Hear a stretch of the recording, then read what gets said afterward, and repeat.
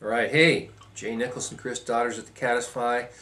We're going to tie a steelhead tube leech using a Pro Tube micro tube. This is a steelhead fly. It's a steelhead fly. It's a king salmon fly. It's just an all-around effective. It's a big profile, bright fly. And we're going to use some pseudo hackle. Here's what it looks like. Comes on a pretty long strip uh, edging at both sides and some of it's going to be kind of twisted up like this. Throw it in a pan of water let it soak for several hours and drape it over your dish rack and most of it will come out nice and smooth. Then you trim the edge off one side and you have a spey-ish type of hackle. There you go. so do you have to soak it or can you just work with it? Uh, you can work with it but uh, trust me, it's it's uh, it's nicer if you soak it and and it, it's it's nicer to work with a piece that looks like this rather than a piece where the ends are all kind of crumpled up. Um, at least I find it so. Okay. Um, and it's a it's a small price to pay for getting something that's. And you can like taper that because it's. That's that's exactly right. Now I'm not tapering it, but you can and I'm going to tie, and, and, so I have a, I've cut all the fibers off this part. I'm going to tie that in here, and this is ultra chenille in a flow orange, fluorescent orange, not a hot orange, because I don't want to get that bright. Um, and this is, uh, I used ultra chenille instead of regular medium chenille. I, I don't want to build up the body too much. How much is too much? Oh, depends on the eye of the beholder. This uh, pseudo hackle is interesting stuff. It is, it's slim. It's like winding on a, there goes my tube didn't quite put it on there firmly enough. It's going to provide some color contrast and some wiggle without without uh, providing bulk. So this fly is going to sink quite nicely. But look at that stuff. It's pretty cool stuff. Yeah, and it's not quite as massive as like the polar chenille. No, no, absolutely. So there, I mean, you, you have a lot of visibility there and a lot of wiggle.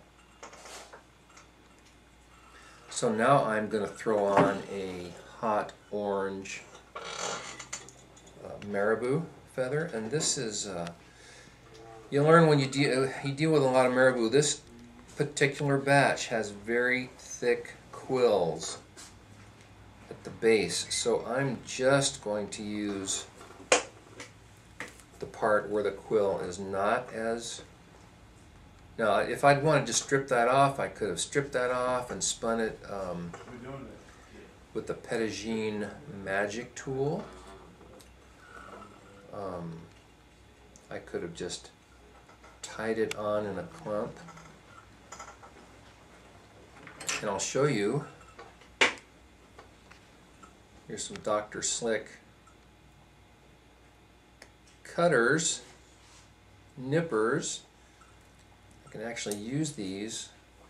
Sometimes these center quills are so thick that they're difficult to use your hackle pliers with. They're just too bulky for your hackle pliers to get a good grip. So that's where I like to use these Dr. Slicks. Now this fly is going to have a lot of breathing but it's very light and it's going to be really easy to cast. And you're, it's, it's going to sink because of your sink tip, not because of your weighting of the fly. If you want the weighting of the fly itself to sink it, then you'd want to use the Pro Tube drop weights. Now I'm going to add some, a couple, I'm topping a couple of different colors of ostrich. And this is uh, a shrimp pink or flow orange. It's it's not real bright, but as I like to say, it's just bright enough. And I like to throw in a little bit of white too. Yeah, see that? Remember all our steelhead flies that had a white wing? Like, try a bucktail royal coachman. Was a great steelhead fly. This is sort of uh, Silvey's tube snakish. Absolutely, it is.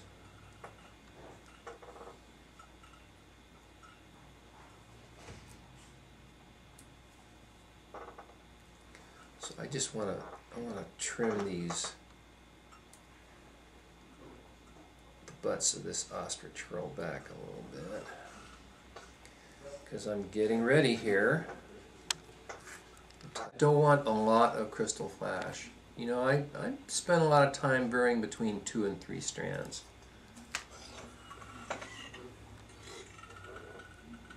Two or three strands doubled over really shows. And I make these nice and long. And so again, I've said this is uh, this is king salmon fly. This is a steelhead fly. That's I'm not just making that up. I fished them for both, caught both on this fly. I read. I know what other guys fish, other ladies fish as well.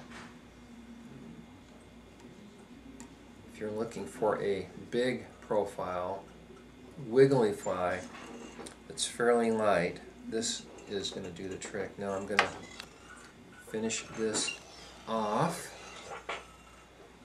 with a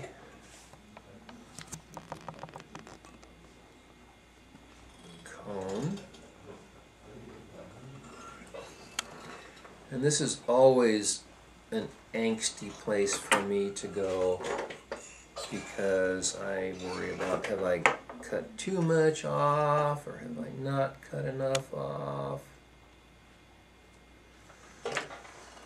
So bear with me. Take your lighter and you turn it sideways and I try to use basically the bluish part of the flame and that sucks that right down and then to make sure I'm going to be able to thread this. I will open that up with a bodkin right now. Now add my hook guide. And typically the small end of the hook guide goes on the back end of the cone. And then I would add a uh, stinger hook to the back, like so.